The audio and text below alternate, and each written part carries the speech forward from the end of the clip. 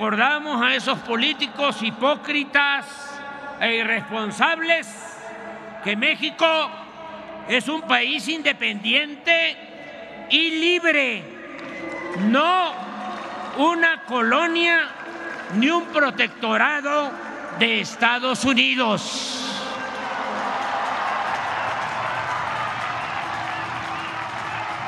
Y que podrán amenazarnos con cometer cualquier atropello, pero jamás, jamás permitiremos que violen nuestra soberanía y pisoteen la dignidad de nuestra patria.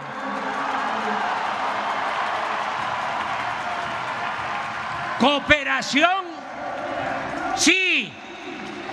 Sometimiento, no. Intervencionismo, no. Oligarquía, corrupción,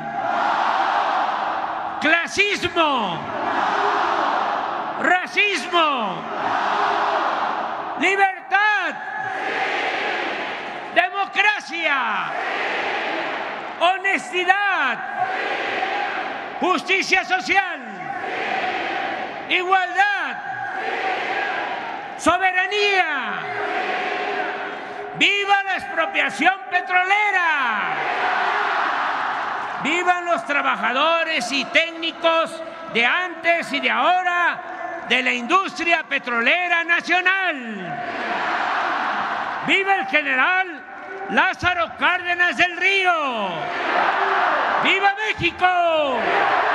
¡Viva México!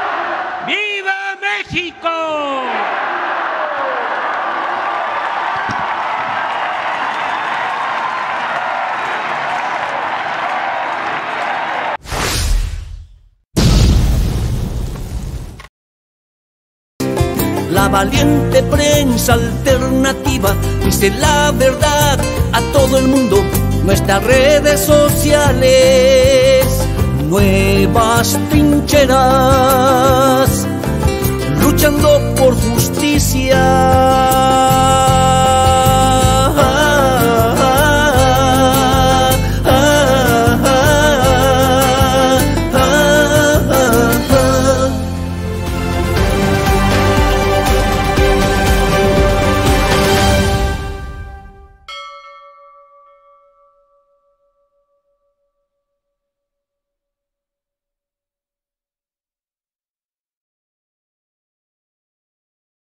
Constitucional de los Estados Unidos Mexicanos, licenciado Andrés Manuel López Obrador, en compañía de su distinguida esposa, doctora Beatriz Gutiérrez Müller.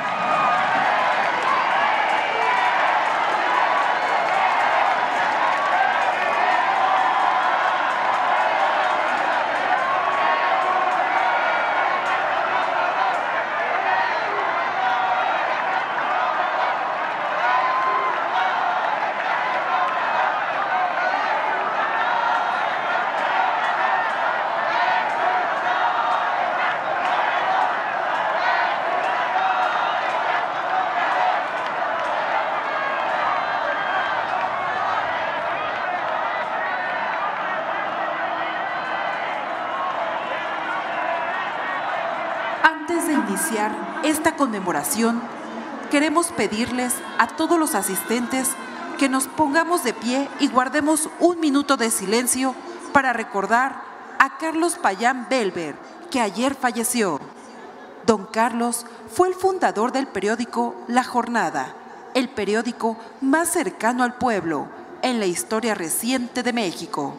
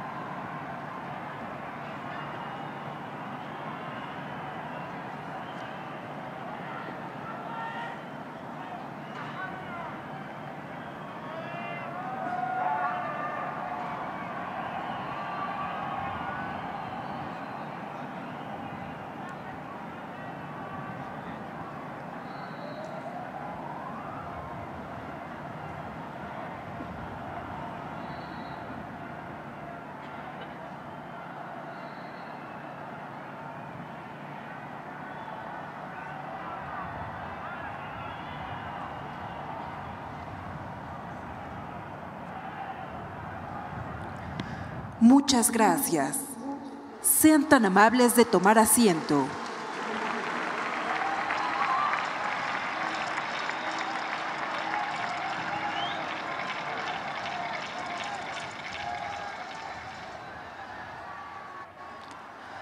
Para dar inicio a este evento, la secretaria de Energía, la ingeniera Rocío Nale García, hará uso de la palabra.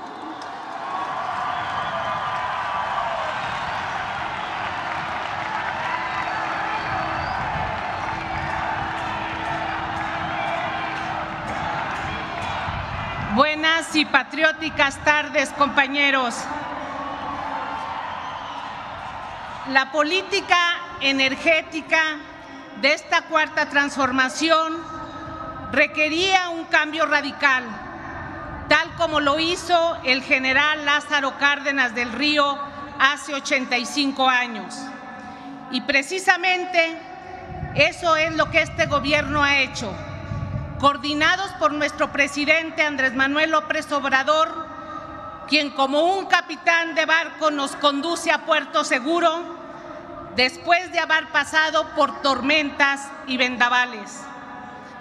En estos cuatro años de gobierno se ha trabajado con una visión nacionalista y soberana, buscando en todo momento la autosuficiencia energética en beneficio de los mexicanos.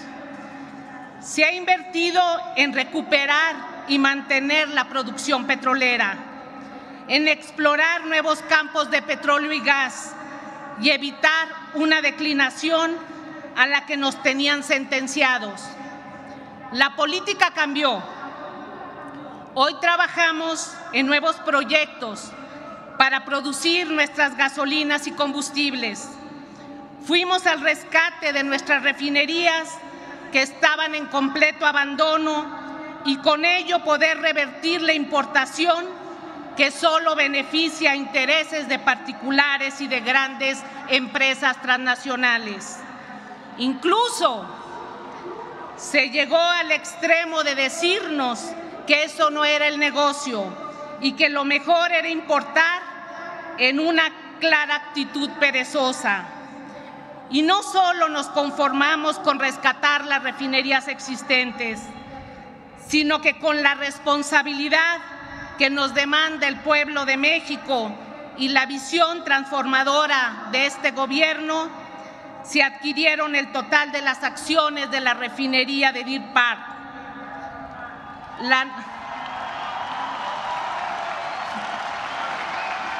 La nueva refinería Olmeca Dos Bocas en Paraíso, Tabasco, es una realidad y un orgullo para los mexicanos.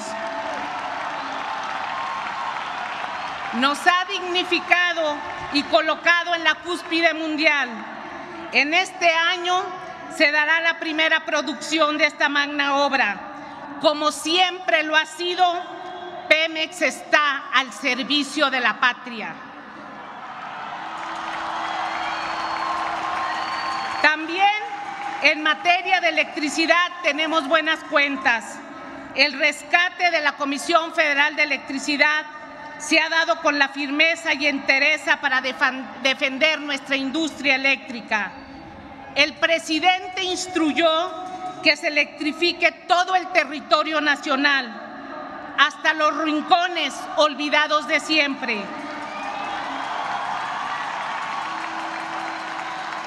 Lograrlo, estamos construyendo nuevas centrales de generación. Se rehabilitan y construyen nuevas presas.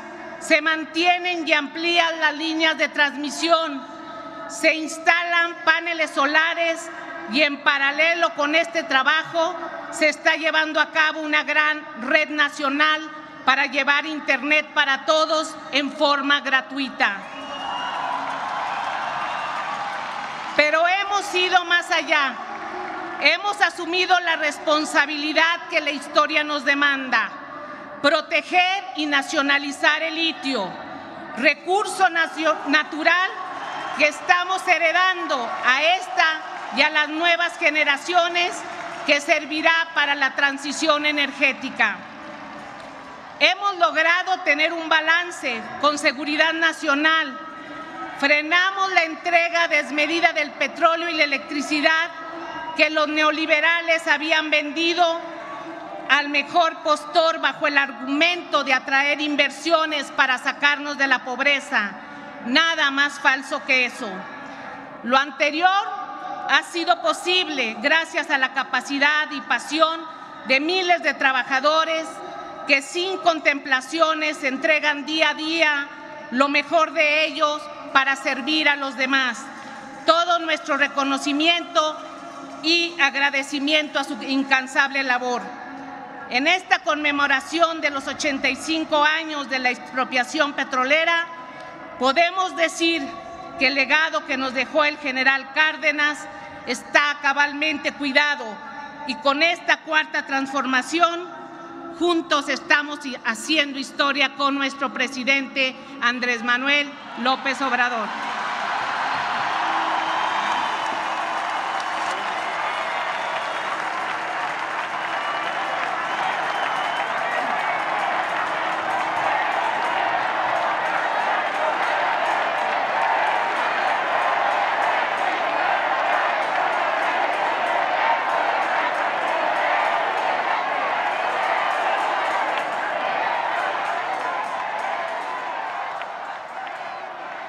Director general de Petróleos Mexicanos, ingeniero Octavio Romero Oropesa, hará uso de la palabra.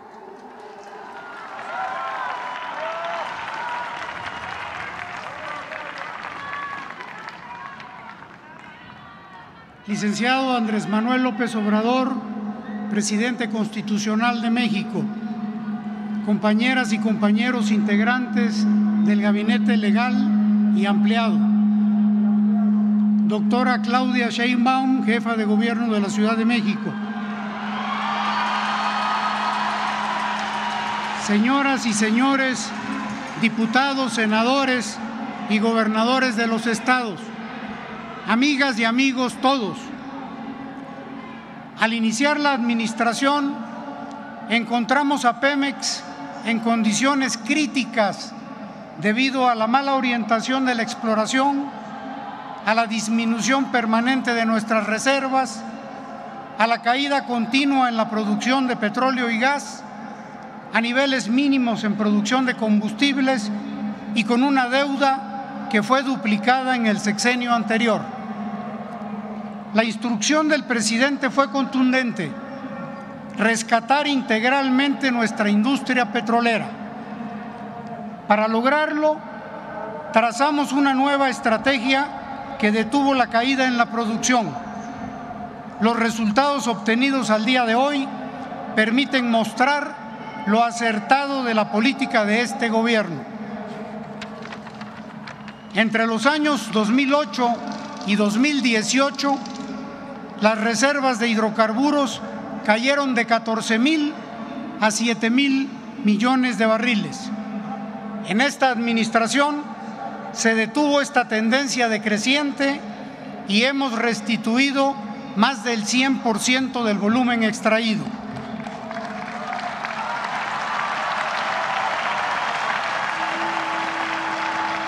Logramos incrementar la producción de petróleo de 1.700.000 barriles diarios en 2018 a 1.921.000 al día de hoy.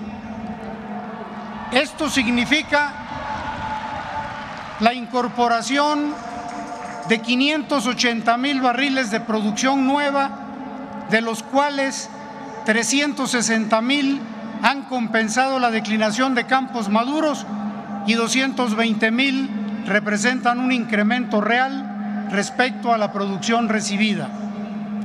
La producción de gas pasó de 3.800 millones pies cúbicos diarios a 4.270, es decir, 470 millones adicionales. Esto se ha logrado principalmente a partir de las siguientes acciones.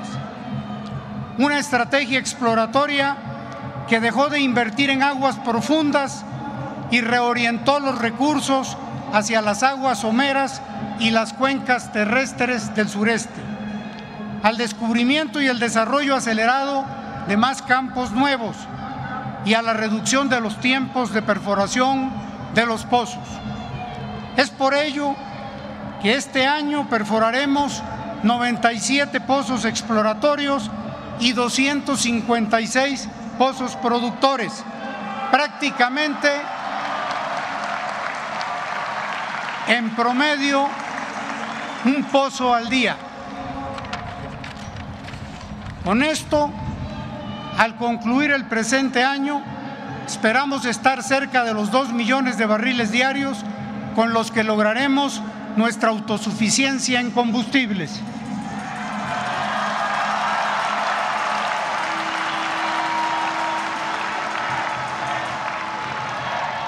A ocho años de su entrada en vigor, la reforma energética resultó un rotundo fracaso.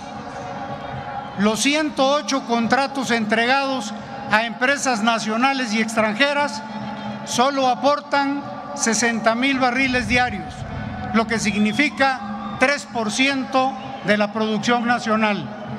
Pemex sigue siendo el pilar de la producción nacional de hidrocarburos del país.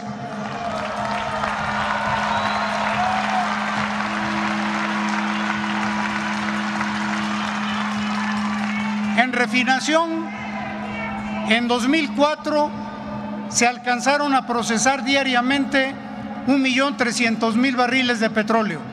Sin embargo, a la luz del desinterés y abandono de nuestras refinerías durante la etapa neoliberal, el proceso se redujo a 500.000 barriles. Eso trajo como consecuencia a finales de la administración pasada la importación del 80% de los combustibles que el país consumía. En contraste, en este gobierno hemos llevado a cabo un programa permanente de rehabilitación de nuestras plantas que nos ha permitido elevar la refinación de 500 mil a más de 800 mil barriles de petróleo. Con la adquisición de la refinería Deer Park, nuestro proceso alcanza ya un millón doscientos mil barriles. Para comprar Deer Park se destinó una inversión menor a 600 millones de dólares. A menos de un año ha dejado una utilidad al país de 960 millones, recuperándose toda la inversión más 360 millones.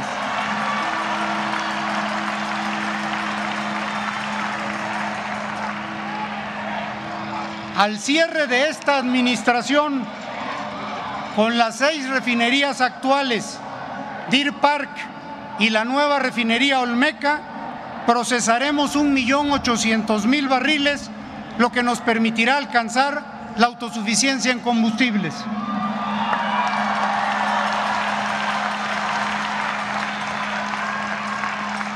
El rescate de petróleos mexicanos se está logrando con el talento y el esfuerzo de técnicos y los trabajadores de Pemex, quienes son parte fundamental para obtener estos resultados.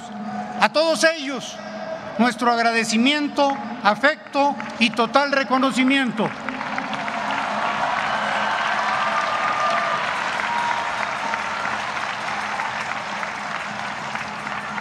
Lo que la cuarta transformación ha logrado en petróleos mexicanos en cuatro años deja atrás las predicciones pesimistas y malintencionadas de los neoliberales detractores de este gobierno.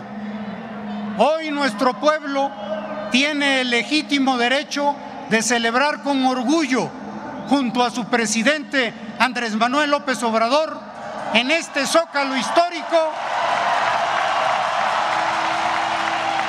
la gran expropiación decretada por el general Lázaro Cárdenas del Río hace 85 años. Hoy como entonces, el país está recibiendo beneficios del petróleo gracias a la decisión del presidente de la República de apoyar más y primero a los pobres de México. Muchas gracias.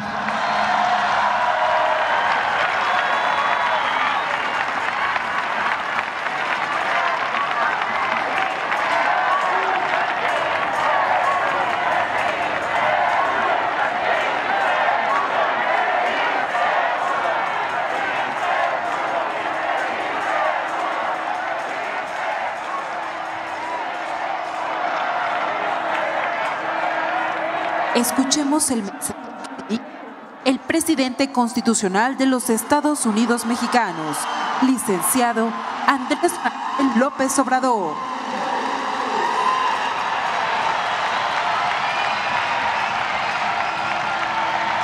Amigas, amigos,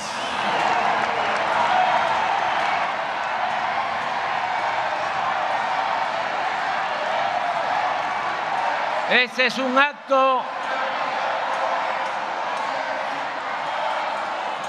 de conmemoración de la expropiación petrolera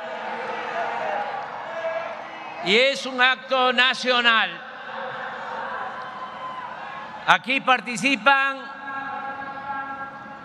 habitantes de Aguascalientes, de Baja California, de Baja California Sur, de Campeche, de Chiapas.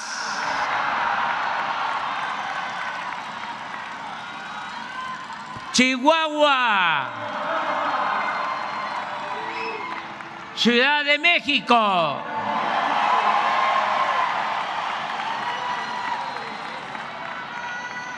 Coahuila,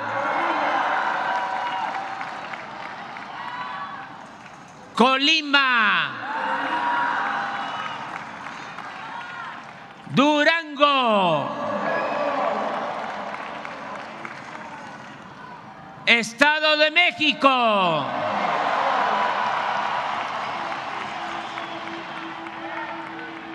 Guanajuato,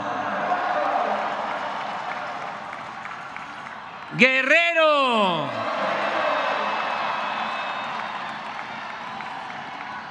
Hidalgo,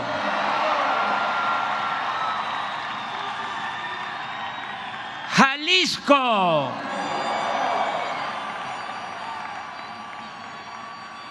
Michoacán,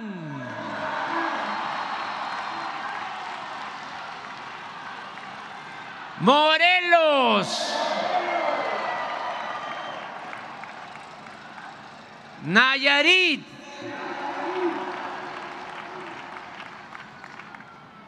Nuevo León,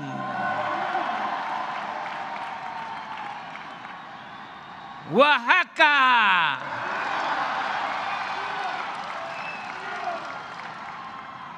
Puebla,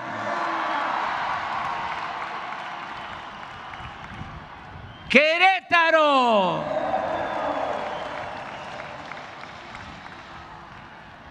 Quintana Roo, San Luis Potosí, Sinaloa,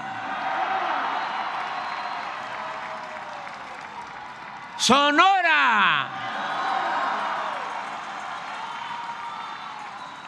Tabasco,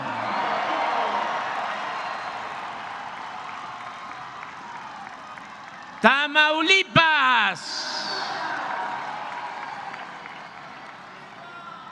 Tlaxcala, Veracruz.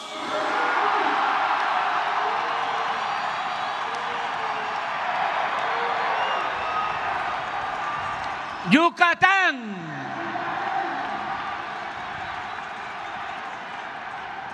Zacatecas.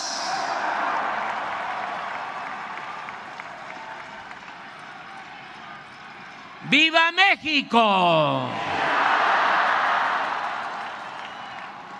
Amigas, amigos, a diferencia de Francisco y Madero,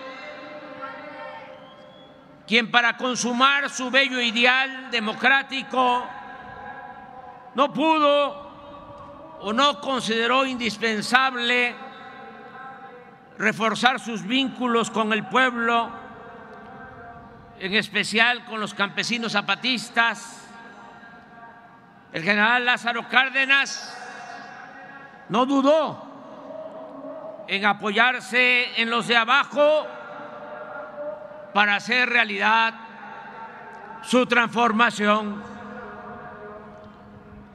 La estrategia del general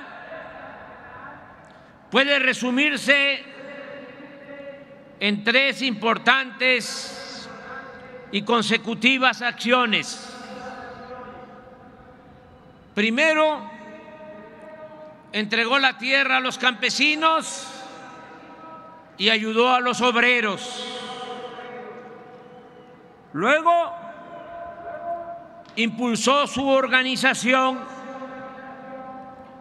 y finalmente con esa base social pudo llevar a cabo la expropiación la expropiación del petróleo y otros bienes de la nación que Porfirio Díaz había entregado a particulares, fundamentalmente a extranjeros. En la estrategia cardenista, lo primero fue la atención a las demandas económicas y sociales de campesinos y obreros. El presidente sabía que la única manera de contar con el pueblo era actuar decididamente en favor de sus causas. En consecuencia, desde el inicio de su gobierno se puso en marcha el reparto agrario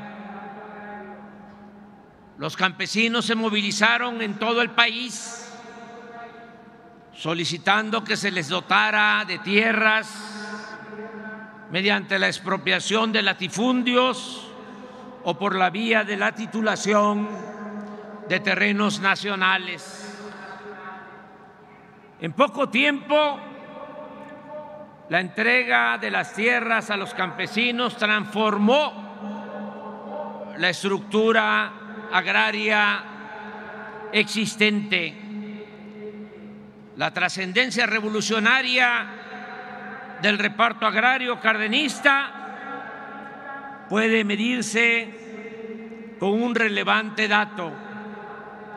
En los primeros tres años de su gobierno se entregaron nueve millones 764 mil hectáreas a 565.216 campesinos, lo que superó con mucho la cantidad de tierras repartidas desde la revolución. Al finalizar el sexenio, se habían constituido 10.651 ejidos con un total de 18 millones 52 mil hectáreas en beneficio de más de un millón de familias indígenas, de peones y de jornaleros del medio rural. Es indudable que los campesinos vieron en Cárdenas a un fiel representante de la causa revolucionaria. La reforma agraria aseguró la fidelidad de mucha gente al gobierno cardenista y desde entonces se concertó la alianza entre los campesinos y el Estado. Por otra parte, durante el cardenismo, los obreros sintieron garantizados sus derechos laborales.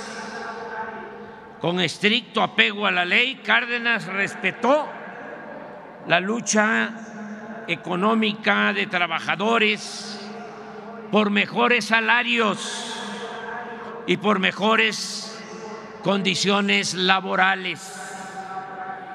Su acción en este terreno consistió en hacer realidad la letra del artículo 123 de la Constitución. Desde el inicio de su gobierno, el movimiento obrero comenzó a desplegar una intensa actividad orientada a conquistar sus reivindicaciones Incluso se pudo ejercer con plena libertad el derecho de huelga. Para mediados del sexenio, Campesinos y obreros identificaban a Cárdenas como el defensor de sus intereses.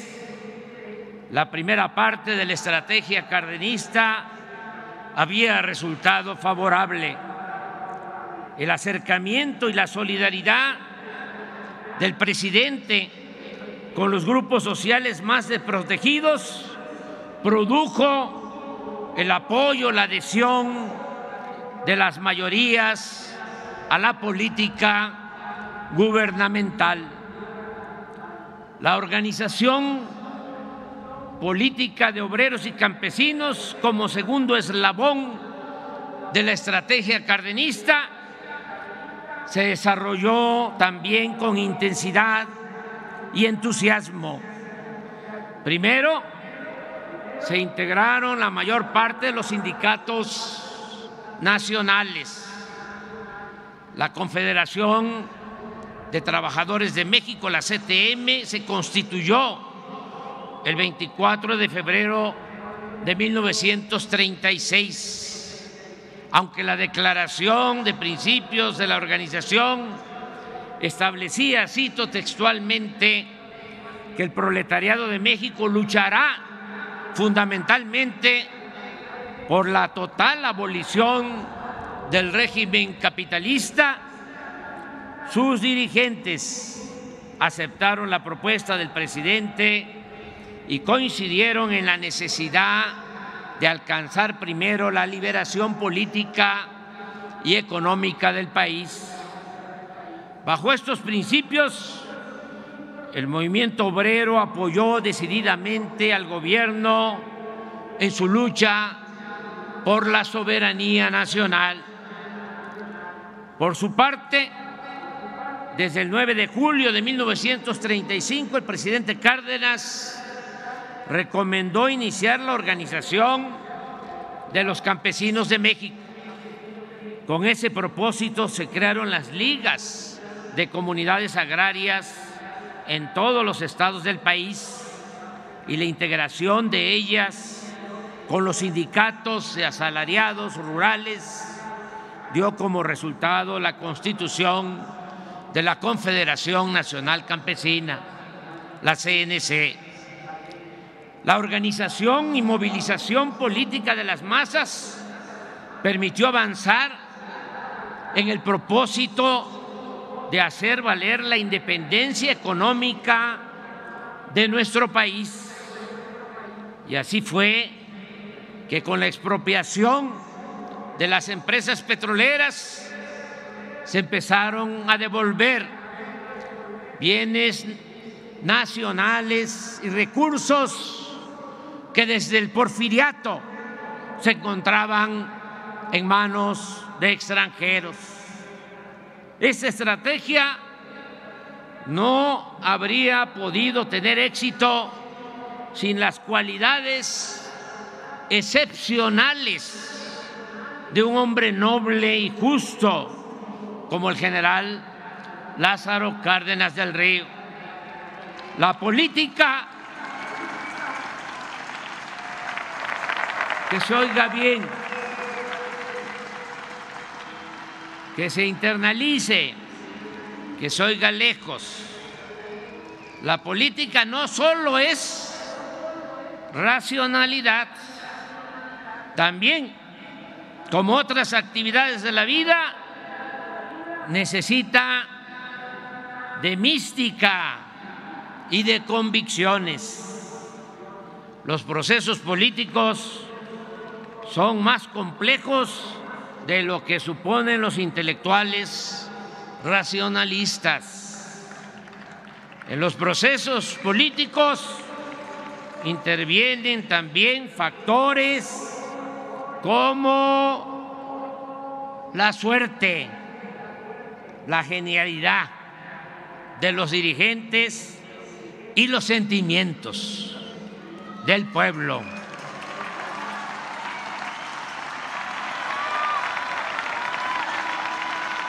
El general Cárdenas, a diferencia de políticos arribistas o de la élite, profesaba un sincero y profundo amor al pueblo.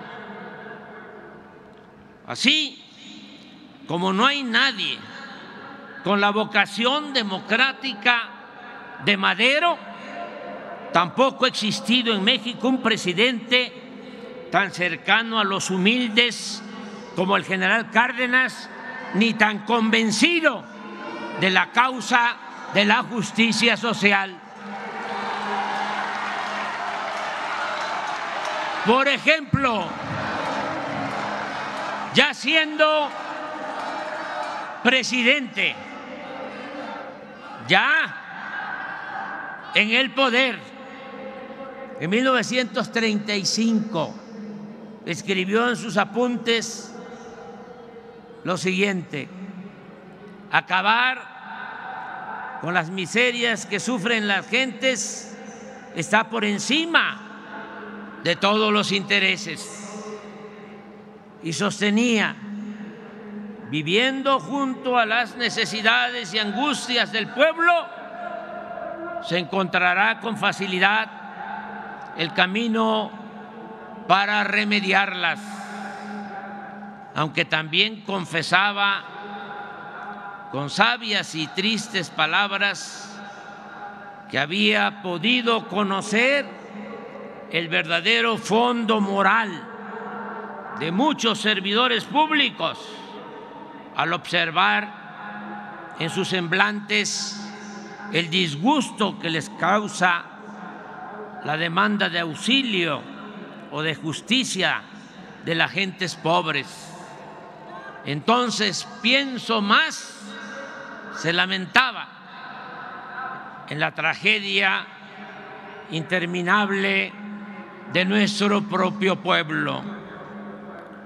Para los jóvenes que quieren dedicarse al noble oficio de la política, lo principal es el amor al pueblo.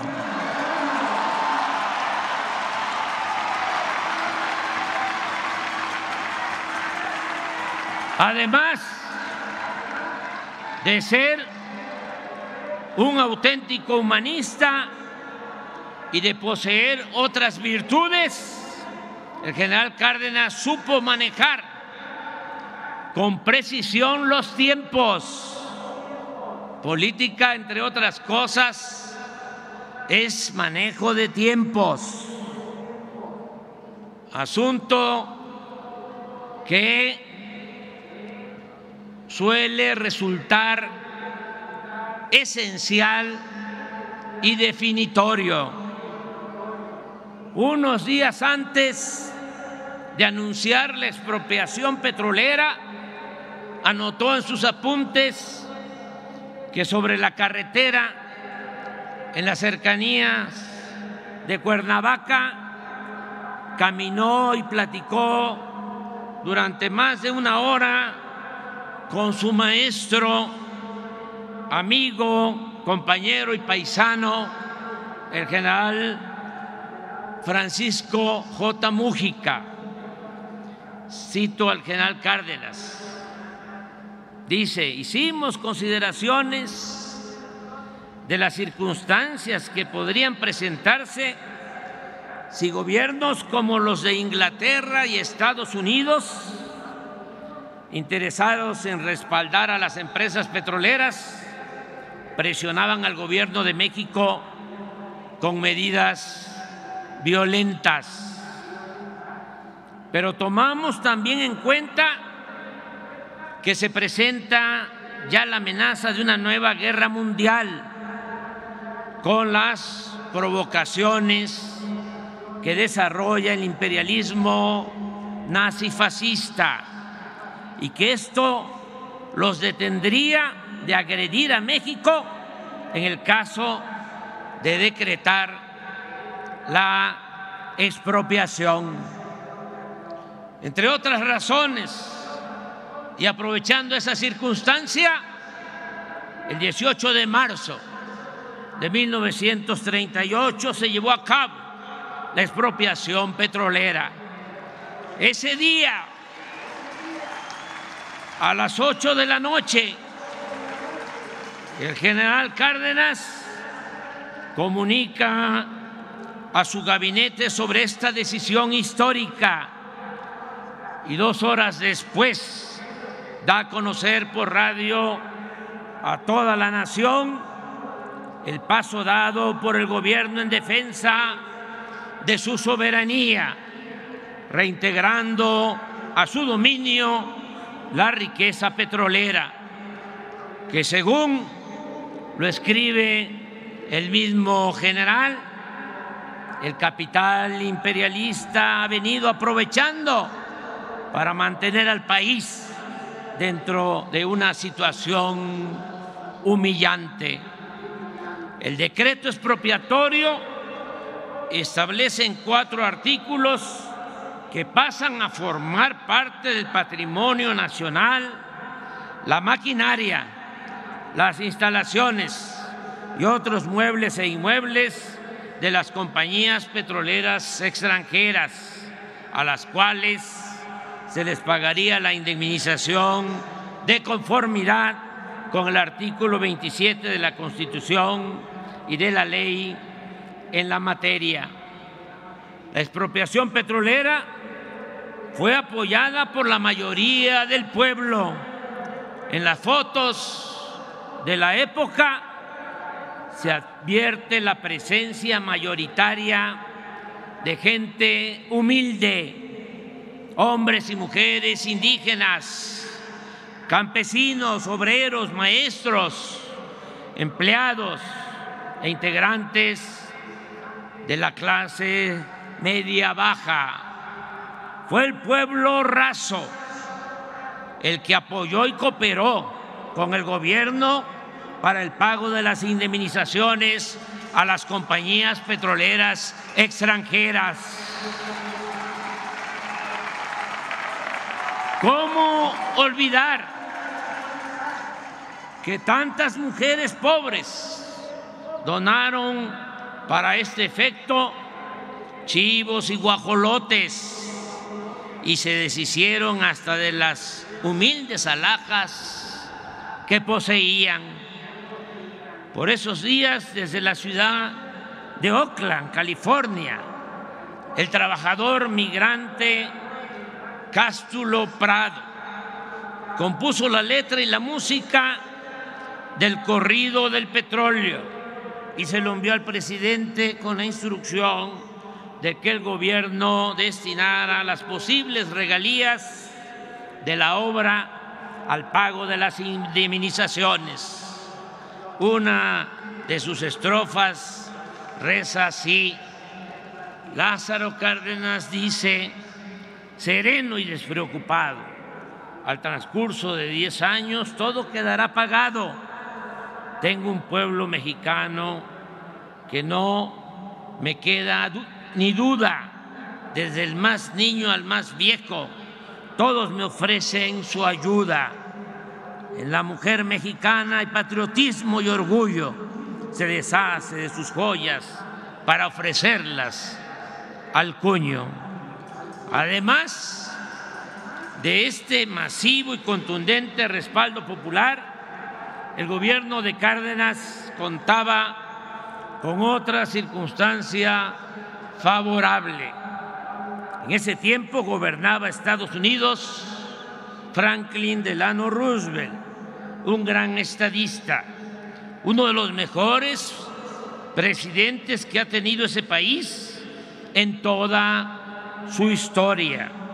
Recordemos que cuando llegó Roosevelt a la Casa Blanca el 4 de marzo de 1933, Estados Unidos padecía una de las peores crisis de su historia y que como presidente Roosevelt supo enfrentar esa crisis con éxito y muy pronto le devolvió la esperanza a su pueblo, lo cual lo convirtió en uno de los más grandes políticos del siglo XX. En cuanto a su política exterior, recordemos que en un discurso memorable que es el antecedente de los principios de la ONU, el 6 de enero de 1941, expuso al mundo cuatro libertades fundamentales. El derecho a la libertad de palabra, el derecho a la libertad de culto, el derecho a vivir libres de miseria y el derecho a vivir libre de temor. La presidencia de Roosevelt aplicó la política de buena vecindad con los países del continente americano. En ese entonces se definieron los principios de cooperación económica y política. Se reconoció la soberanía de Cuba y de Panamá y se ordenó la retirada militar estadounidense de Nicaragua y de Haití. No es casual que el gran poeta Pablo Neruda lo llamara un titán de las luchas, de las libertades, un presidente gigantesco. La autenticidad de su política de buena vecindad tuvo su mejor ejemplo en el respeto a la soberanía de nuestro país. Durante los tres periodos presidenciales de Roosevelt, las relaciones entre México y Estados Unidos fueron excepcionalmente buenas. En los días posteriores a la expropiación petrolera, en una carta, el general Cárdenas le reconoce mi gobierno, escribió el general, considera que la actitud asumida por los Estados Unidos de Norteamérica en el caso de la expropiación de las compañías petroleras viene a afirmar una vez más la soberanía de los pueblos de este continente que con tanto empeño ha venido sosteniendo el estadista del país más poderoso de América, el excelentísimo señor presidente Roosevelt. Cástulo Prado, el poeta que ya citamos, poeta popular, también dejó testimonio de la rectitud, la altura y el respeto con que se comportó el presidente del país vecino los versos de Cástulo decían, los millonarios pedían que fuera la intervención. A los Estados Unidos fueron a poner su queja. No suena, no suena, no suena.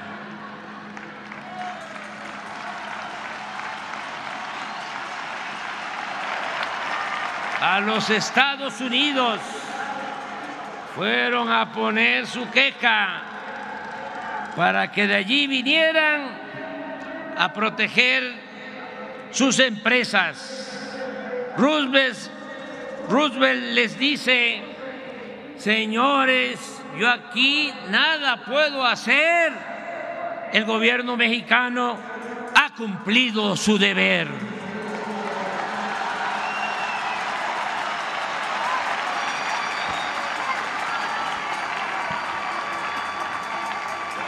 En los buenos resultados de esta política tuvo mucho que ver el embajador de Estados Unidos en México, Joseph Daniel, quien actuó con sabiduría y habilidad en los años más difíciles de las relaciones entre los dos países.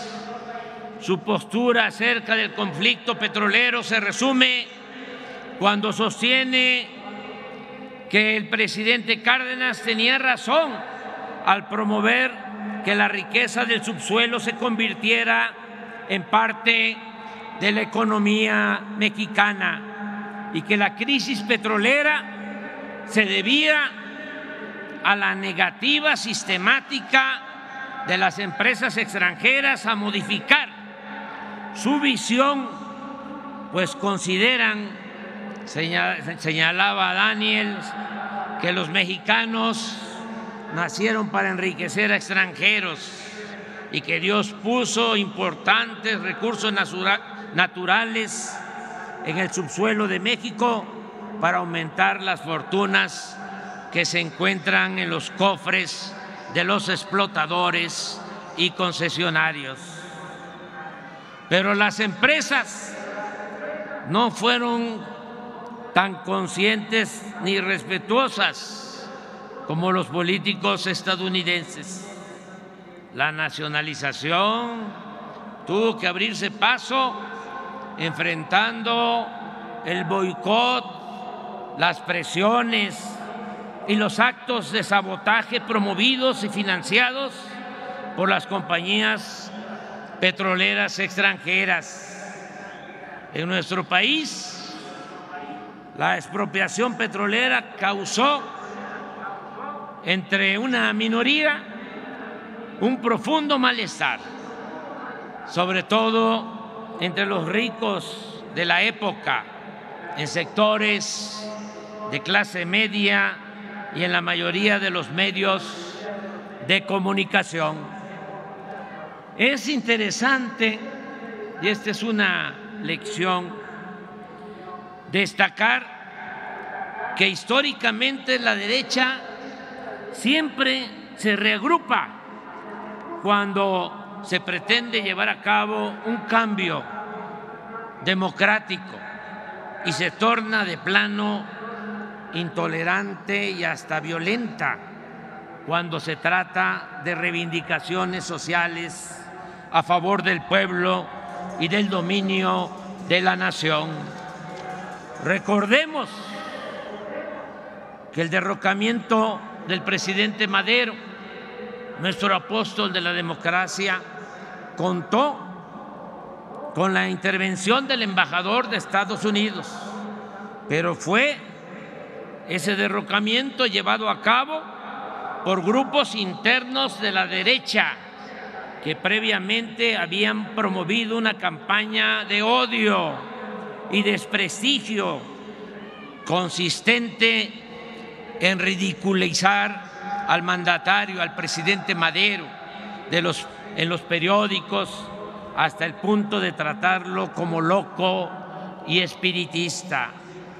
Lo mismo sucedió cuando la expropiación, que aunque no afectaba de manera directa a intereses privados nacionales, sirvió para aglutinar todo el descontento de los grupos conservadores contrarios a la política agraria, laboral y educativa del general Cárdenas. En este ambiente se funda el 17 de septiembre de 1939 el Partido Acción Nacional, que nace criticando, que nace criticando la expropiación petrolera. Digo esto aquí en el Zócalo porque no estoy mintiendo, estoy hablando con la verdad.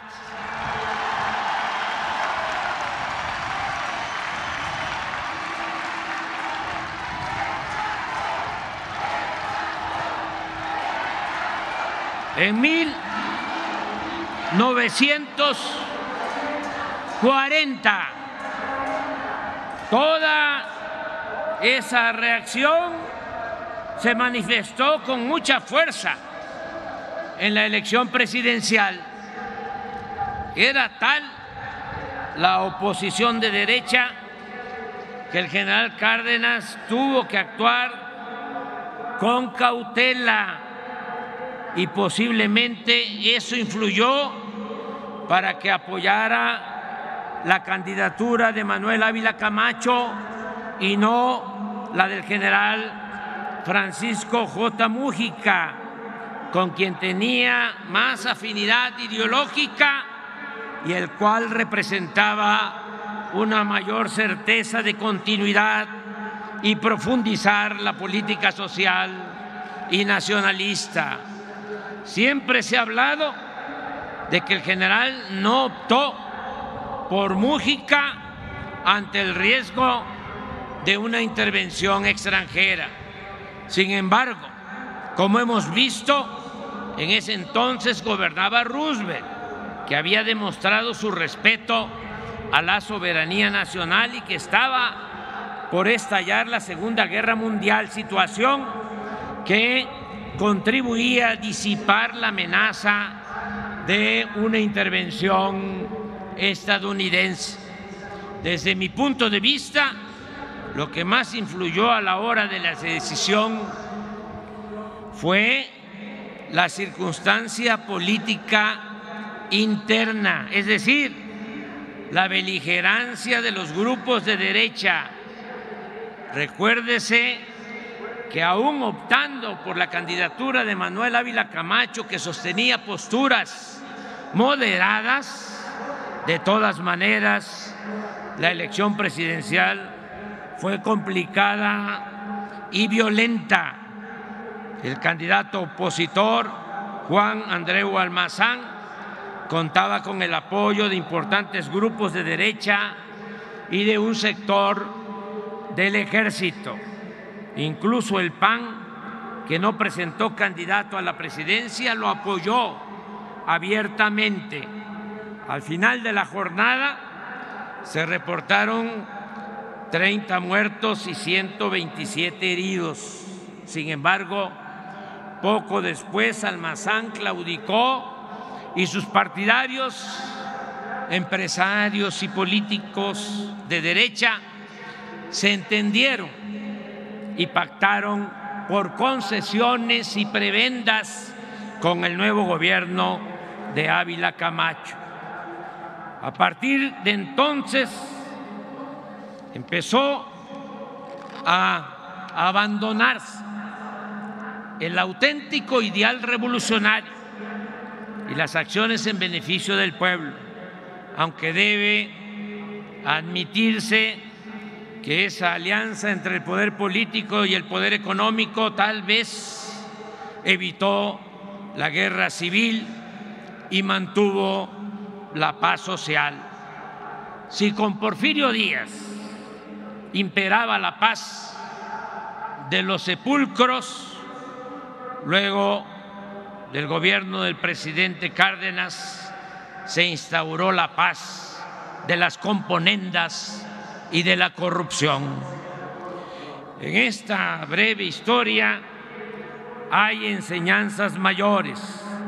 La principal es que solo con el pueblo, solo con el apoyo de las mayorías, se puede llevar a cabo una transformación popular para hacer valer la justicia y enfrentar a los reaccionarios que se oponen a perder privilegios.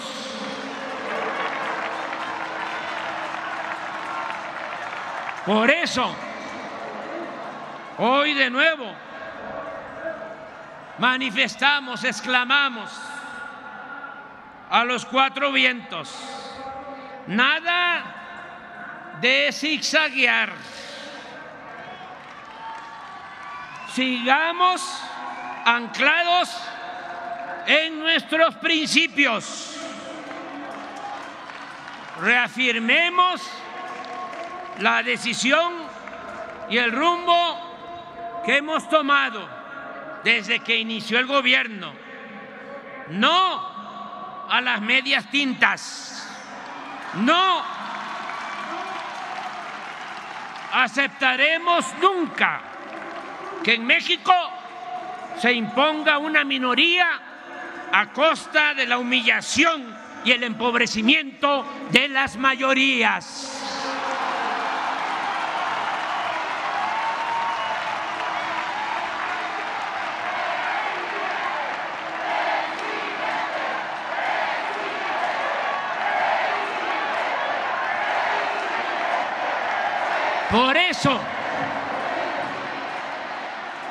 Nuestro mandato.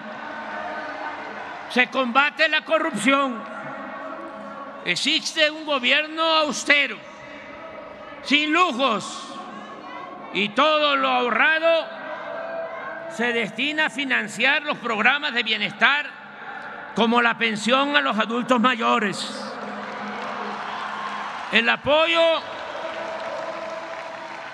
a las personas con discapacidad, a madres solteras, a campesinos y pescadores, becas a estudiantes de familias pobres,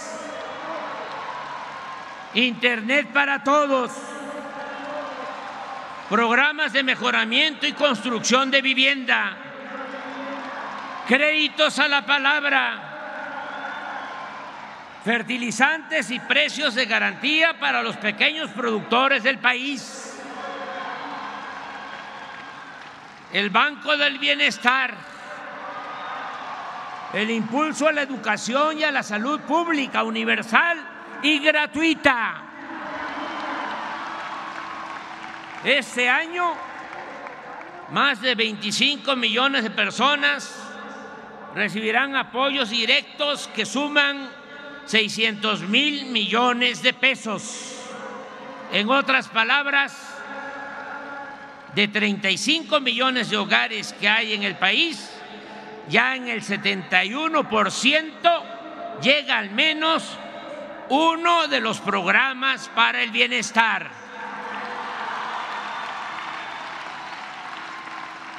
Con esta política de atención a los más necesitados, vulnerables y en especial a los jóvenes, también hemos podido reducir los delitos del fuero federal en 33%, el homicidio en 10%, el robo de vehículo en 38%, el robo en general 20%, el huachicol en 92% el feminicidio en 28% y el secuestro en 76%.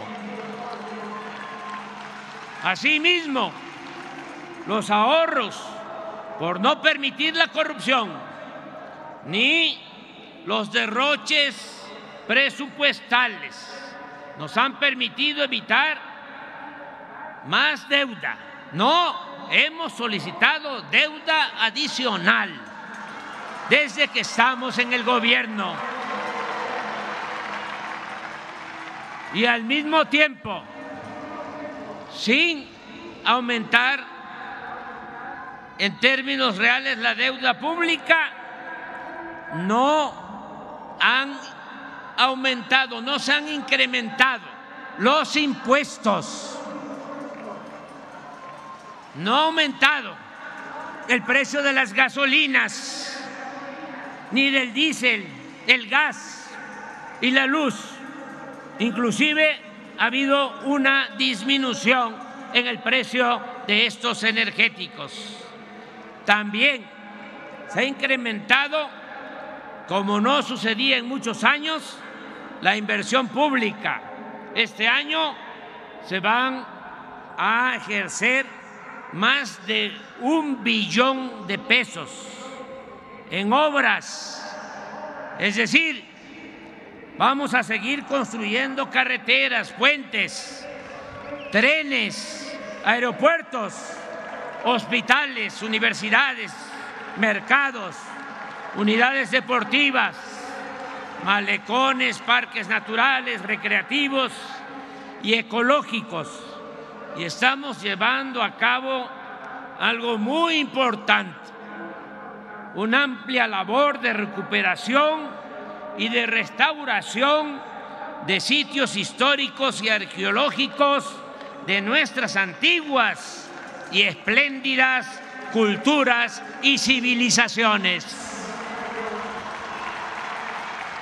La hacienda pública es fuerte la economía nacional está creciendo en auge El año pasado la economía en México creció incluso más que la economía en China y en Estados Unidos. Hay un número sin precedente de 21 millones 747 mil trabajadores inscritos en el Seguro Social. Nunca se había llegado a esta cifra de 21 millones 747 mil trabajadores en la economía formal. También no se había logrado nunca un salario promedio de 525 pesos diarios para estos trabajadores de la economía formal.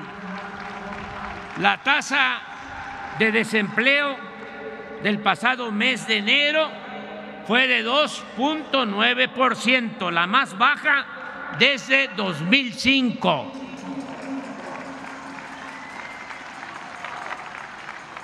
Estamos haciendo obras. Aquí mismo se está rehabilitando la línea que se fracturó del metro. Se están, desde luego, construyendo los trenes Toluca, Ciudad de México, el tren Maya, el trasísmico y muchas obras, muchas. ¿Qué está pasando?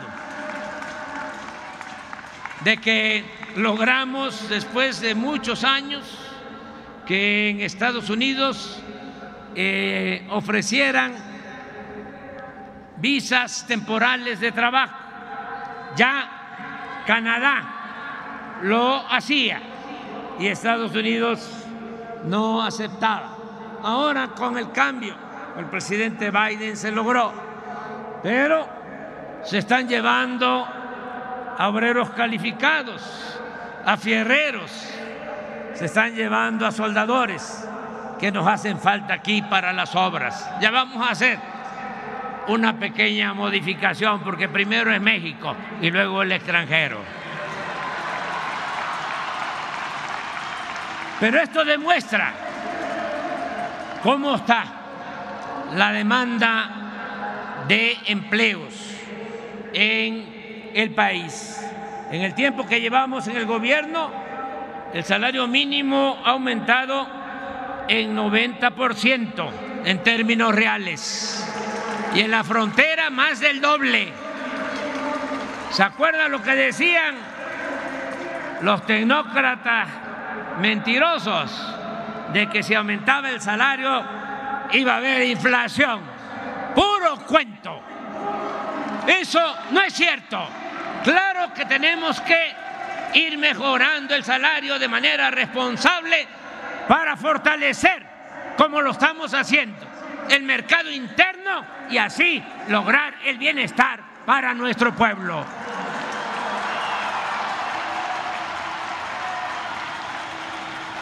La bolsa de valores, las utilidades de las empresas y los bancos registran buenas ganancias.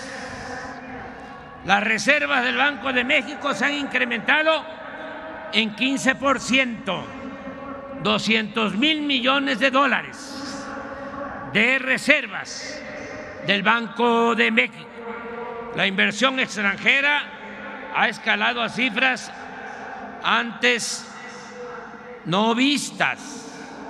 Lo mismo ha ocurrido con las remesas de nuestros paisanos migrantes. Muchas gracias, paisanas, paisanos. El año pasado esas remesas casi llegan a 60 mil millones de dólares. Este año vamos a superar los 60 mil millones de dólares.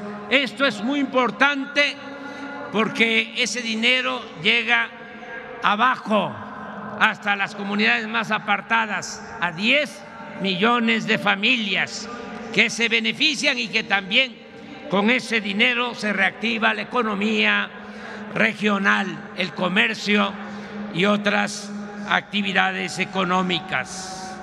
También es importante subrayarlo, el peso es la moneda que más se ha apreciado en el mundo con relación al dólar. Esto no sucedía desde hace más de 50 años. También hemos orientado nuestros recursos y esfuerzos para alcanzar la autosuficiencia alimentaria y la autosuficiencia energética. En esto último, como aquí informó la secretaria de Energía y el director de PEMEC, podemos asegurar que se está garantizando la soberanía petrolera. El año próximo no vamos a comprar gasolina ni diésel ni otros petrolíferos en el extranjero. Vamos a procesar toda nuestra materia prima.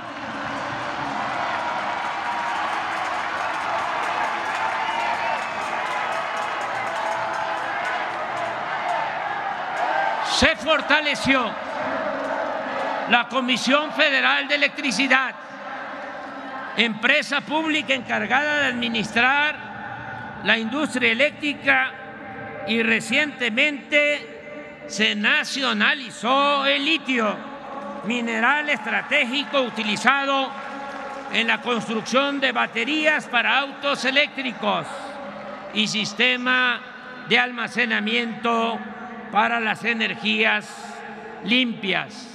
Me llena de orgullo poder recordar, bueno, hago un paréntesis para decir que ofrezco disculpas porque estoy tardando pero ya estoy por terminar. Me llena de orgullo poder recordar hoy, 18 de marzo, que a pesar del entreguismo que prevalecía antes de que llegáramos al gobierno, pudimos quitar del Tratado de Libre Comercio un amplio capítulo que comprometía en ese acuerdo nuestro petróleo y poner en su lugar un pequeño párrafo que se los voy a leer. Dice, Estados Unidos y Canadá reconocen que México se reserva su derecho soberano de reformar su constitución y su legislación interna. Y México tiene el dominio directo y la propiedad inalienable e imprescriptible de todos los hidrocarburos en el subsuelo del territorio nacional.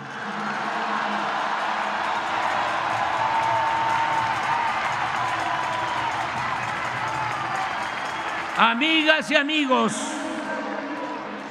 estoy convencido de que seguiremos contando con el apoyo del pueblo para consolidar la primera etapa en la transformación de nuestro país.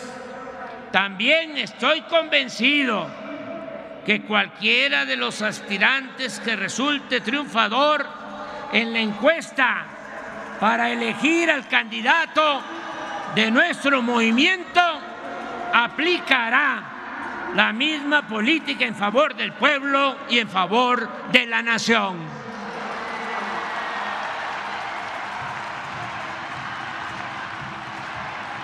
Está asegurada la continuidad con cambio. No hay nada que temer. Eso sí, tenemos que mantenernos unidos,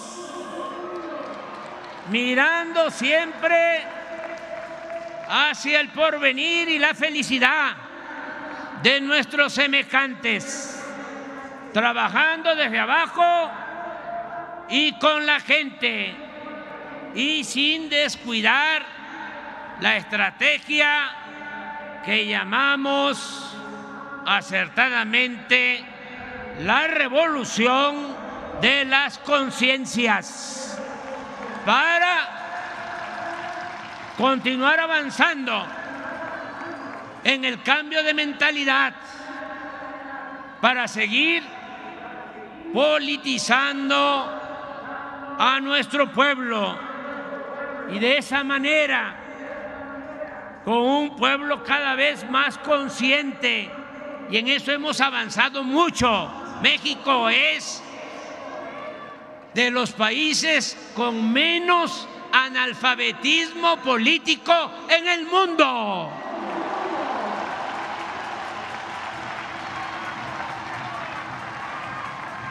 Con esa conciencia vamos a seguir con esa conciencia colectiva.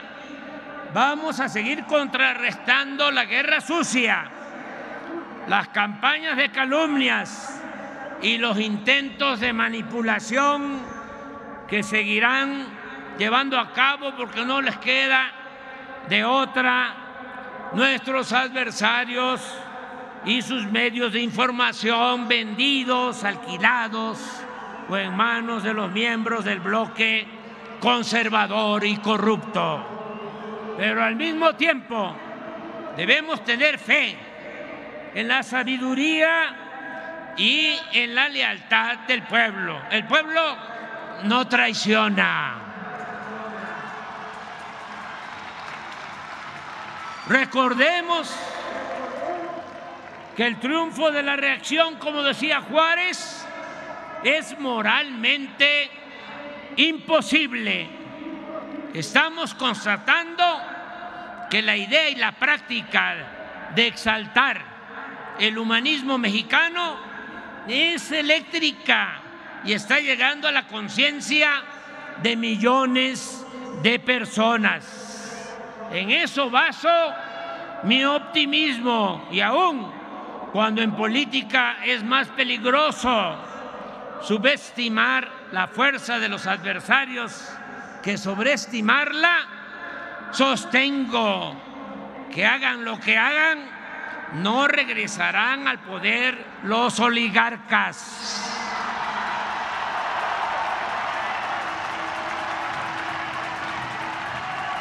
continuará prevaleciendo en nuestro querido México una auténtica y verdadera democracia. Amigas, amigos, no puedo dejar de mencionar que en los últimos días algunos legisladores de Estados Unidos, acostumbrados a ver la paja en el ojo ajeno y no la viga en el propio, en plan propagandístico, diríamos aquí, en lenguaje coloquial, con grilla y con fines electoreros, politiqueros. Sostuvieron que si no deteníamos el tráfico de fentanilo hacia la frontera norte, ellos iban a proponer al Congreso de su país que ocuparan soldados norteamericanos en nuestro territorio para enfrentar a la delincuencia organizada. Primero, quiero dejar de manifiesto que ya no es el tiempo de Calderón ni de García Luna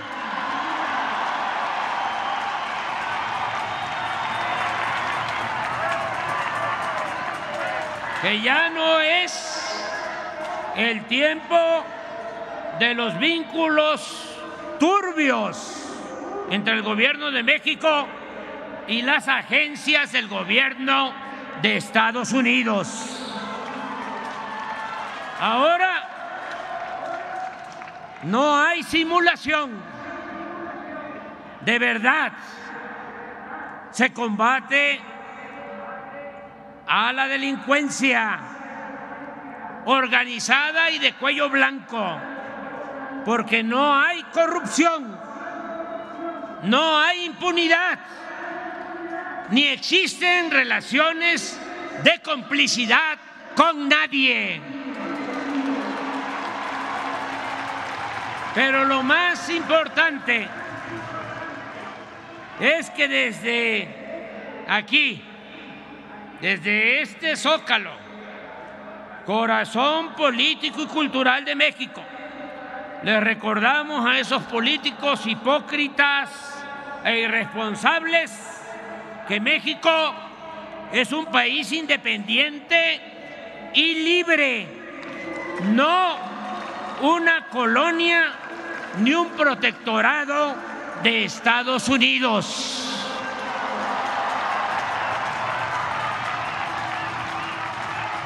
Y que podrán amenazarnos con cometer cualquier atropello, pero jamás, jamás permitiremos que violen nuestra soberanía y pisoteen la dignidad de nuestra patria.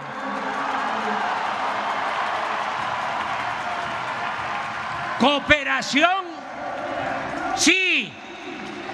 Sometimiento, no. Intervencionismo, no. Oligarquía, corrupción. Clasismo, racismo, libertad, democracia, honestidad, justicia social, igualdad, soberanía. ¡Viva la expropiación petrolera! Vivan los trabajadores y técnicos de antes y de ahora de la industria petrolera nacional. Viva el general Lázaro Cárdenas del Río. ¡Viva México! ¡Viva México! ¡Viva